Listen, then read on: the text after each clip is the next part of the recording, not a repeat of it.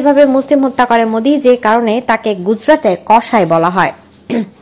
ভারতের প্রতিবেশী কোনো রাষ্ট্রের মোদির ভারতের বন্ধু রাষ্ট্র হতে পারছে না। নানামুখী আগ্রাসনে মোদি ভারতকে হাঙ্গরে দেশে পরিণত করেছে।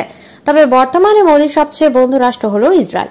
মিয়ানমারের সেনাবাহিনীকে অস্ত্র সরবরাহ বন্ধ করতে অস্বীকার করেছে মোদির এই বন্ধু ইহুদিবাদী রাষ্ট্র ইসরায়েল। নির্বিচারে রোহিঙ্গা মুসলমানদের বিরুদ্ধে হত্যা, নির্যাতন করার চিত্র তুলে ধরে মিয়ানমারে অস্ত্র সরবরাহ বন্ধের দাবিতে ইসরায়েলের হাইকোর্ট আর্জি জানায় সে দেশের মানবাধিকার কর্মীরা। হাইকোর্ট চলতি মাসের শেষের দিকে এ নিয়ে শুনানির দিন ধার্য করে, কিন্তু ইসরায়েলের যুদ্ধ মন্ত্রী দাবি করেছেন, হাইকোর্টের অস্ত্র বিক্রি বন্ধের এখতিয়ার নেই। মিয়ানমারে আছে, ইসরায়েল অস্ত্র বিক্রি অব্যাহত থাকবে। এর আগেই ইহুদিবাদ ইসরায়েল আর্জেন্টিনায় যুদ্ধ অপরাধের প্রতি সমর্থন দিয়েছে। বসনিয়ায় মুসলমানদের বিরুদ্ধে গণহত্যা চালানোর জন্য জাতিসংঘের নিষেধাজ্ঞার তোয়াক্কা না করে সার্বিয়ার বাহিনীকে অস্ত্র জুগিয়েছে। একইভাবে মিয়ানমারকে অস্ত্র সরবরাহ অব্যাহত রেখেছে। মধ্যপ্রাচ্যের বিস্ফোরা ইসরায়েলি সেনাবাহিনী যখন তখন নির্বিচারে ফিলিস্তিনিদের হত্যা করে, মুসলিম বিশ্বের ঘাতকের জাতি হিসেবে পরিচিতি পেয়েছে। কিন্তু ভারত হিন্দু রাষ্ট্র হলেও বিশ্ব দরবারে এতদিন ভারতের পরিচিতি ছিল ধর্ম নিরপেক্ষ রাষ্ট্র হিসেবে।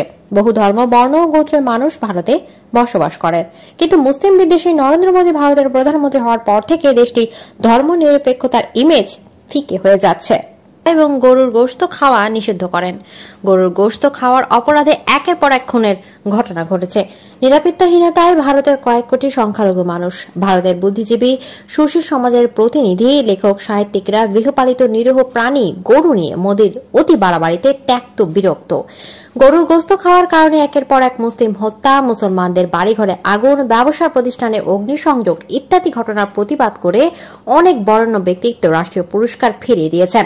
মুম্বাইয়ের বার ঠাকরে শিবসেনা যে মুসলিম বিদ্বেষী হিসেবে বিশ্ব সম্প্রদায়ের ঘৃণা করিয়েছেন মোদী ক্ষমতায় আসার পর উগ্র হিন্দুত্ববাদী সংঘ পরিবার রাজনৈতিক উইংয়ের হিন্দু রাষ্ট্র কায়েমের উগ্রতা শিবসেনার প্রতি ঘৃণাকেও হার মানিয়েছে। বিজেপি তিনবারের সভাপতি লালকৃষ্ণ আদবানি একবার বলেছিলেন, বাংলাদেশকে বিশ্বের মানচিত্র থেকে মুছে দেওয়া হবে।